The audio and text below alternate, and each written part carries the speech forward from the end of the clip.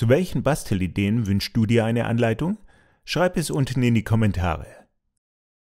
Bastelideen, die jeder Bastler kennen muss, der was auf sich hält. Und los geht's! Wie macht man einen Pompon? Dafür brauchst du Wolle, eine Schere, einen Zirkel und Karton. Schritt 1. Stelle die Ringe her. Vorweg nimm einen Karton und falte ihn in der Mitte. Zeichne jetzt mit dem Zirkel einen Kreis von ungefähr 10 cm Durchmesser. Wenn du keinen Zirkel hast, funktioniert es genauso gut mit einer umgedrehten Schale. Zeichne einen kleineren Kreis in den großen Kreis. Benutze dafür die Rolle von einem Klebeband. Pass auf, dass beide Kreise den gleichen Mittelpunkt haben. Aus beiden Kreisen ergibt sich so ein Ring. Schneide alles um den großen Ring weg und genauso alles innerhalb des kleinen. Achtung, schneide mit der Schere beide Lagen gleichzeitig. Du kannst ja deine Eltern um Hilfe bitten. Und schon hast du zwei Ringe gleicher Größe. Schritt 2. Wickle die Wolle um die Ringe. Schneide ein Stück Wollfaden von ungefähr 4 Meter Länge ab. Lege es in vier Lagen übereinander. Befestige die Enden der vier Wollfäden an den aufeinanderliegenden Ringen. Umwickle jetzt die Ringe mit der Wolle. Falls es nicht reicht, schneide noch einen Wollfaden ab. Hör mit dem Wickeln auf, wenn du die Fäden nicht mehr durch das Loch bekommst. Schritt 3. Der Pompon. Drücke die Fäden so zur Seite, dass du an die zwei Pappringe rankommst. Stecke die Schere zwischen die beiden Ringe. Den Ringen folgend zerschneidest du nun die Wolle. Ziehe zwischen den beiden Ringen mit dem Wollfaden eine Schlinge und zieh sie zu einem festen Knoten zusammen. Zerschneide im Anschluss die Ringe, damit du sie abziehen kannst und gleiche jetzt die Wollfäden aus. Schritt 4. Mehrfarbige Pompons. Willst du einen bunten Pompon, dann umwickle die Ringe mit mehreren Wollen unterschiedlicher Farbe. Du kannst die verschiedenen farbigen Fäden alle gleichzeitig um die Ringe wickeln. Oder du wickelst die verschiedenen Bereiche der Ringe mit jeweils einer anderen Farbe, um Muster zu erzeugen. Fertig, schöne Pompons. Du kannst sie an deiner Schultasche oder deinem Schlüsselbund festmachen.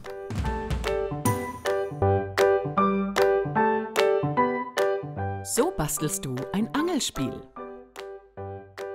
Dafür brauchst du drei Holz- oder Plastikstäbe, Schnur, etwas Draht, eine Schüssel, Zeitungs- oder Geschenkpapier, ein paar kleine Geschenke und eine Schere. Schritt 1. Die Angelrute. Nimm einen Holzstab.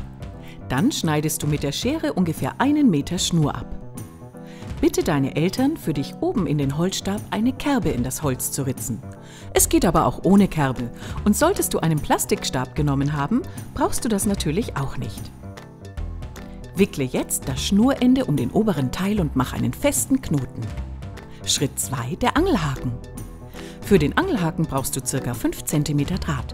Bitte deine Eltern dir beim Abschneiden zu helfen. Biege den Draht nun in die Form eines Angelhakens.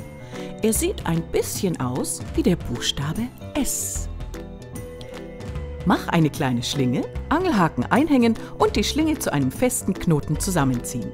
Mach dasselbe mit den beiden anderen Angelruten. Schritt 3. Die Geschenke.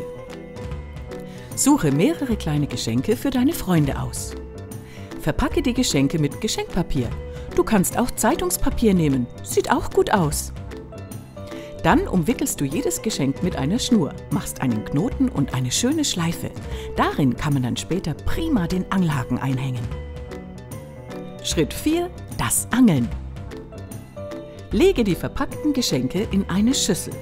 Auf geht's! Das Angelabenteuer kann beginnen. Viel Spaß dabei!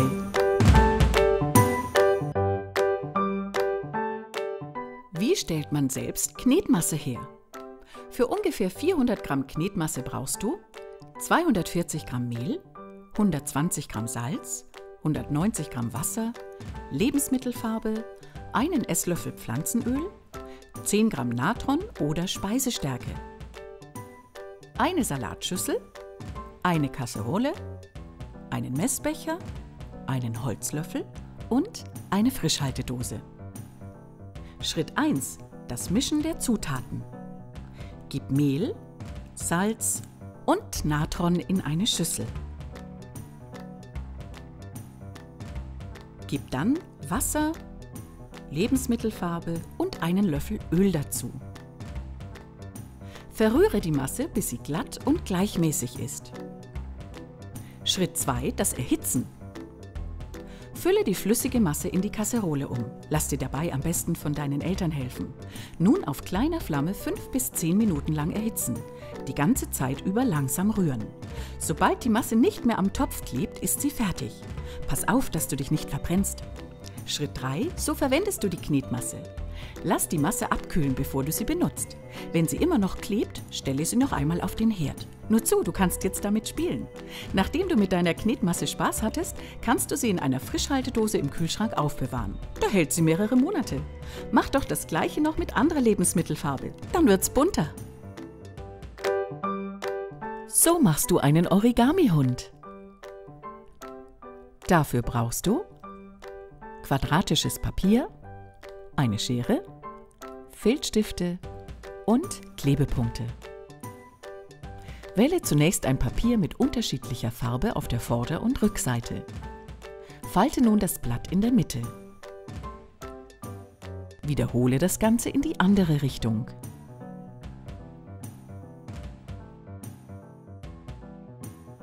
Knicke jetzt den rechten oberen Blattzipfel in die Blattmitte. Wiederhole das mit links oben. Falte die rechte obere Ecke nach außen. Dasselbe machst du auf der linken Seite.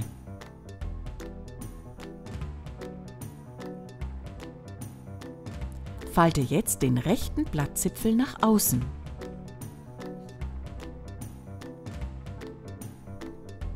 Wiederhole das auf der linken Seite.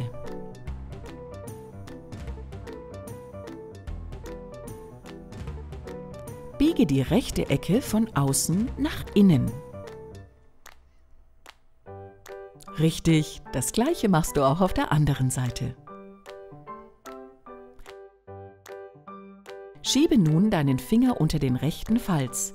Das nun entstehende Dach presst du mit deinen Fingern nach oben zusammen. Mach dasselbe auf der anderen Seite. Prima! Jetzt wendest du deine Figur.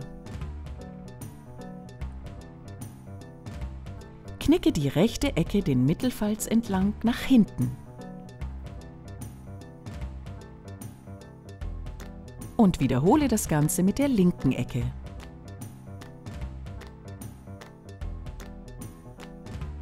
Schlage nun die untere rechte Spitze nach oben um. Das gleiche machst du auf der anderen Seite. Jetzt faltest du die rechte untere Ecke den Mittelfalz entlang nach innen. Danach machst du das gleiche auf der linken Seite.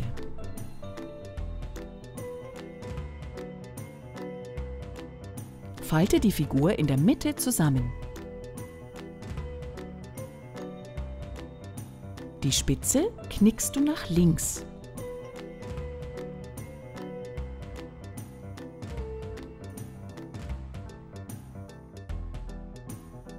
Öffne den Falz und fahre mit deinem Finger hindurch. Schlage die äußeren Enden des Falzes nach außen.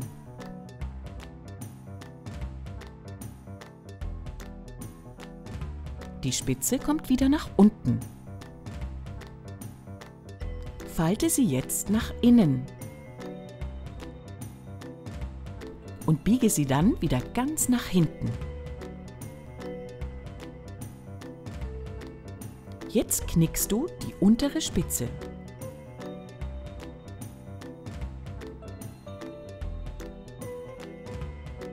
Dann schlag sie nach außen um.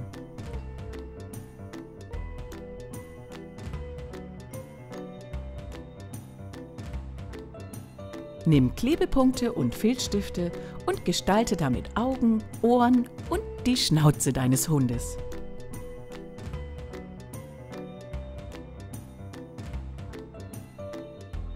Fertig. Das hast du richtig gut gemacht.